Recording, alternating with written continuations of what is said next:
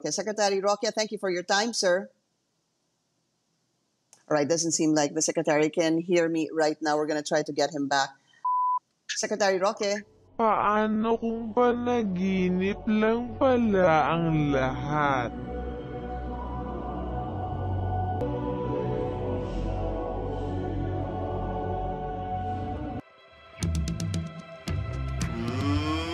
Let's get ready to rumble!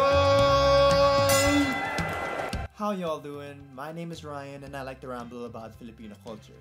So kung trip mo yan, please do consider subscribing. I post new videos every single Thursday. Pero ngayon, papag-usapan natin yung mga memes. And not just any meme, gusto kong pag-usapan yung pinaka-punchable person in the whole country. Probably the most memed person also in the country, si Mr. Harry Roque. So kung di mo kilala si Harry Roque, siya yung current presidential spokesperson natin. But before he became the spokesperson, Spokesperson? but before he became the spokesperson, he was an advocate for human rights. Siya yung nag-represent sa mga biktima ng Ampatuan Massacre back in 2009. He also represented the family of Jennifer Laude, isang trans woman na pinatay ng isang miyembro ng American military. And he also taught at the UP College of Law. But for some reason, Everything changed when he became spokesperson.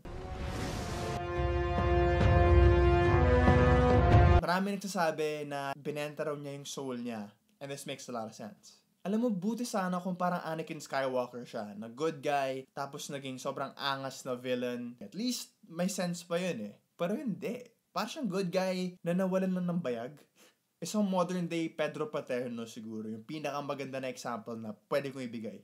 Honestly, that's the reason kung bakit sobrang sarap niyang pagtripan at sobrang daming memes tungkol sa kanya. So let's talk about the memes. I think that the Harry Roque meme explosion started back in June doon sa programa na The Source. Of the story, we have presidential spokesperson Harry Roque. Secretary Roque, thank you for your time, sir.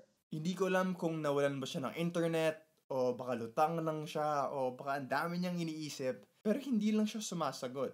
Secretary Roque. And honestly, sobrang kawawa naman ni Pinky Web dito. Kasi kung ako yon na nag-interview, hindi ko alam yung gagawin ko. Secretary Roque, can you hear me? So of course, sobrang daming memes about this. And yung favorite ko siguro, ito, nakita ko sa Twitter. Tapos, montage siya ng mga Coldplay song. Ito yung feeling ko nung nasa high school pa ako, tapos nasa math class ako. Sobrang wala akong pakialam sa sinasabi ng teacher ko. Yung tipong nagda-daydream lang ako. Tapos bigla akong tinanong na, Ryan, ano yung intercepts ng graph sa page 206? Tapos ako, parang ano lang. But the crazy thing is, hindi siya huminto eh. A few days later, naging meme na naman siya dahil sa sinabi niya tungkol sa UP. So, predict ng UP na mga 40,000 yung COVID cases natin by the end of June. Tapos, nung nalaman ni Harry Roque na hindi tayo umabot ng 40k, mga 38,000 lang naman daw, ang laki ng celebration niya. Wala na po. Panalo na tayo. We beat the UP prediction po. We beat it. So, congratulations, Philippines. So, we are winning. I mean, now we're top 20 in the world, worst in Southeast Asia. Pero back then, 38k lang naman. Can you imagine kung student ka niya dati sa UP? Kung siya yung nag-inspire sa'yo maging lawyer? Kung nasa resume mo, student of Harry Roque. Tapos, ngayon meme na siya. Nangyari. Pero parang gustong-gustong maging meme ni Harry Roque. eh. A few days later, habang tayo ay nabubulok lang sa bahay, naka-quarantine, gusto niyang lumangoy kasama yung mga dolphin.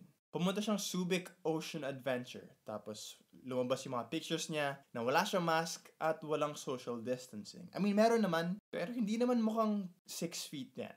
I think at this point, yung memes, hindi na lang to patawa. Funny siya, pero out of frustration na yung ginagawa ng mga tao. Dati kasi, pag ines ka sa isang tao, ano gagawin mo? Sulat ka sa diary, di ba? Ni Harry Roque. Ngayon, pwede ka na gumawa ng mga memes. And this is exactly what people did. Here, bumalik naman yung sinabi na sa UP. So, the Roque Swimming Dolphins versus the UP Fighting Maroons. Tapos pinakita yung cases na natalo na natin sila.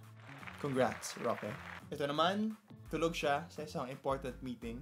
Pero yung panaginip daw niya, dun siya ulit sa mga Dolphins. Na most recently, lumabas siya sa Boracay. Isang video kung saan sinabi niya na lahat tayo pumunta raw ng Boracay. Punta na kayo, Boracay! sa Boracay! And a lot of people were upset. Kasi naman, sobrang daming tao yung nagugutom, walang trabaho dahil sa pandemic. Tapos sabi niya, all we have to do is take a test. Tapos kung wala kang COVID, pwede kang mag-beach, pwede kang pumarty sa Boracay. Kaya naman, sobrang daming memes yung lumabas. Ito yung unang picture na wala pang mga edit. It's like he's asking to become a meme. Ako nung tinignan ko to, tapos wala pang memes na lumabas, na-imagine ko na yung mga posibilidad na mangyari sa kanya. I mean, just just looking at it, na-imagine ko na agad yung Titanic. Iconic scene na sure ako may gagawa. Of course, may gumawa naman. Pero hindi ko nakala na i-photoshop din si Duterte as Jack. Comedic perfection. Ito naman, bumalik tayo sa UP. Siya yung oblation. Honestly, hindi masyadong marami yung memes about UP nung unang lumabas yung video. Pero ngayon na binabalik-balikan natin, mas nakakatuwa siya each time. Ito naman si Chris Aquino. Tapos, ito yung feeling natin lahat siguro, yung gusto natin gawin. So, ito naman yung number one toy ng mga babae nung bata ako. If you don't know this, you probably know the song.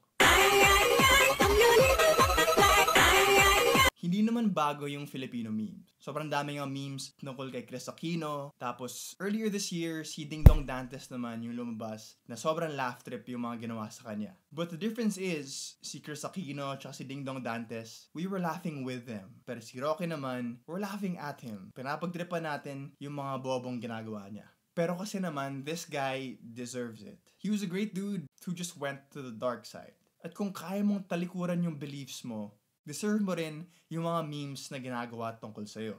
I guess this shows us that everyone has a price. Kung si Roque, dati, kaya niyang ipagtanggol si Jennifer Laude. Pero ngayon, kaya niyang i-defend yung pag-release ng taong pumatay kay Jennifer. Grabe naman yun. Sobrang laki naman yung pagbabago na yun.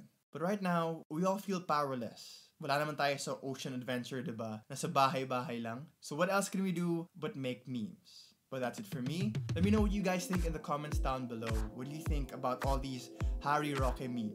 But while you're there, why not like, comment, and subscribe? And check out my Instagram as well at underscore Ryan Rosella for more fun content. But till next time, my name is Ryan. Peace, and I love y'all.